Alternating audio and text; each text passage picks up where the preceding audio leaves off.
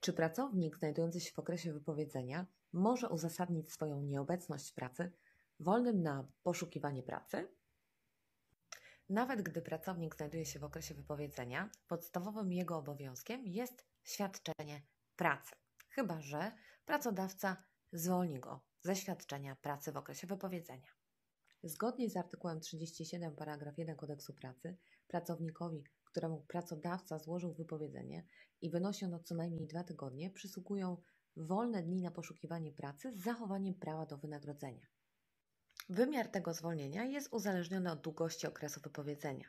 Jeżeli wypowiedzenie trwa dwa tygodnie lub jeden miesiąc, są to dwa dni, lub gdy jest to wypowiedzenie trzymiesięczne, są to trzy dni wolnego.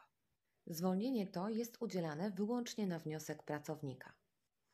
Należy pamiętać o tym, że dni na poszukiwanie pracy nie przysługują, gdy to pracownik złoży wypowiedzenie pracodawcy, gdy umowa zostanie rozwiązana na mocy porozumienia stron z upływem czasu jej trwania lub bez wypowiedzenia.